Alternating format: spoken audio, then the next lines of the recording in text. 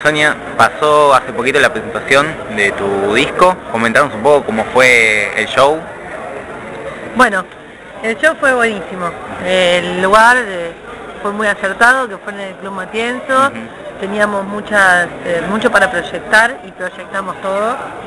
Eh, estuvo lleno, lo cual es un logro enorme porque había un festival muy grande el día siguiente, así que logramos que llenar Matienzo, que es un lugar grande, y mm, fue un show muy intenso, es que todo el mundo lo dice, es muy loco porque es el mejor nombre para el disco Claro, sí, imposible. sí, Un show Se pudo transmitir a lo que es el show no, no, también. sí, obvio, todo el mundo Sonia fue re como intenso, fuerte, ¿entendés? Eh, bueno, hubo momentos de mucha magia. Eh, hay un, recuerdo que en un momento yo bajé del escenario porque hay un tema llamado El Viaje que es muy ambiental. Y yo, bueno, nada, quería como, como unirme a la gente, pero de golpe se empezó como todo el mundo a abrir, como si fuese abrieran aguas, como un río, ¿viste? Sí. Como- y de golpe se abrió todo- y se fue una cosa muy mágica que todo el mundo se emocionó y para colmo los audiovisuales justo daban a una ruta, un camino todo. espectacular. Eh, así que muy sentido, un, show muy sentido, eh, con mucha adrenalina, que estoy volviendo a presentarlo la semana que viene 19 en mod. eh, que con otra, viste, como ya sin tanta... Es, es como una primera cita, viste, cuando vos te, que te gusta mucho a alguien y lo Sí. ves y te sentís que te, te- te tiembla la gamba antes de verlo, bueno, eso fue así, entonces ahora después la ves la segunda vez ya te vas más canchera, Claro. viste, ya te vas más canchera la Y a la última, bueno, uno nunca sabe cuál es la última, No. pero bueno. La última, mira, me pasó que tocar la, la- la última, el último show de Animal y te da una pequeña, te da una angustia, ¿viste? Porque si, ay, ya no voy a tocar más todo el set de Animal, ¿viste? Voy a tocar el set de Intenso ahora y con metiendo Animal.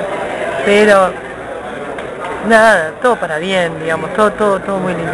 Y bueno, y justamente de ese disco estuvo invitado Leo de Ataque. Pues, lo que hice fue invitar a Leo de Ataque a tocar eh, Girasol, que es un tema del primer disco. Subió a tocar en el Matienzo y vino Agustín de Pierre, que es una viola hermosa y toca bárbaro, Agustín, y tocó y se animó a tocar con Leo, que toca las chapas. Amílcar y yo hicimos el tema y bueno, como siempre, siempre es una fiesta, ¿viste? Es- Eso es una fiesta. Claro, sí. Y justamente antes decías que bueno, que, que estuvo lleno a pesar de que al otro día había un, un festival. A veces eh, se siente la competición esa contra Sí, otros siente. eventos. Se siente, hay que, hay que ser muy cauta a la hora de elegir la- las, las fechas con las que uno va a tocar, ¿eh? Eh, pero, pero me animé y salió.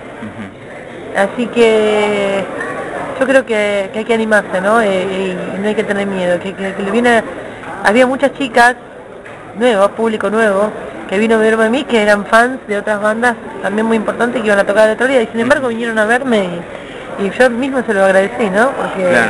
digo, qué buena onda la tuya que, que viniste, pagaste tu ticket, viniste a verme, eh, sabiendo que hay tal banda te gusta, la otra, y te viniste, te Sí, acuerdas por mí, no puedes comprar las dos entradas. Claro, en una época justamente muy difícil que, que es complicado por ahí ir a recitales un viernes, un sábado seguido, para algunas personas la verdad es eh, muy complicado. Y ahora se viene una fecha, mm, noche de chicas se podría decir, ¿no? Con Ay, los chicos sí. se ubica. Sí, viene las, mira, mira, Julieta, Cam Beskin y yo. Tres locas de mierda.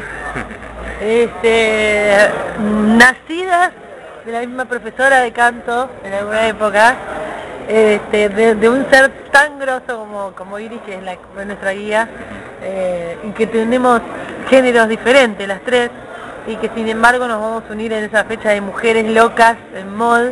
Aparte que está re bueno, eh, hay promos de bebidas, y es mi cumpleaños, che, vas a Eh. venir, vení. bueno, un festejo completo. Obvio, sí, sí, sí, sí. Tengo que parar con los festejos igual, ¿eh?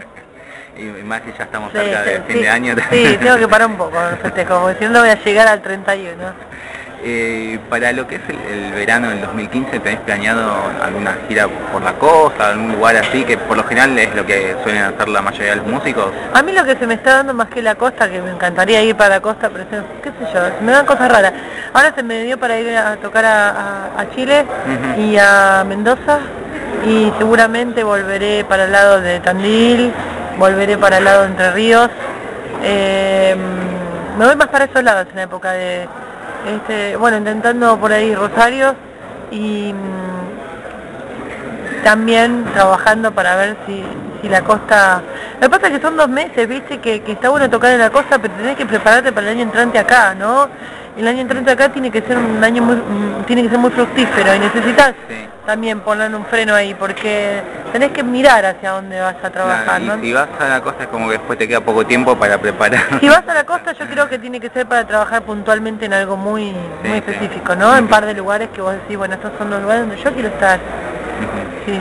Está bien. Entonces vamos a repasar, eh, esta, por el momento sería la última fecha del año acá en Capital, el próximo miércoles. La última fecha con banda. Ah, ¿eh? La única que es el miércoles que viene, 19, en MOD, fecha de Chicas Locas, eh, junto con Ubica, que presenta el disco, y, y Sebastián Beskin. Y después este, hay un par de propuestas, pero más este, acústicas. Como toco todo el, digamos, acústico seguido, me vas a encontrar siempre por, por, la- por Buenos Aires haciendo alguna, alguna locura. Bueno, ¿y el disco qué repercusión tuvo de- desde que salió hasta, bueno, ahora después de la presentación? Y re, súper contra, recontra positivo, recontra positivo, porque, eh, no sé, simplemente le gustó a todo el mundo. Eh, No tuve por ahora una crítica, gracias a Dios, mala, fue toda una crítica muy positiva del disco. Eh, la gente lo lleva, lo compra, va bien.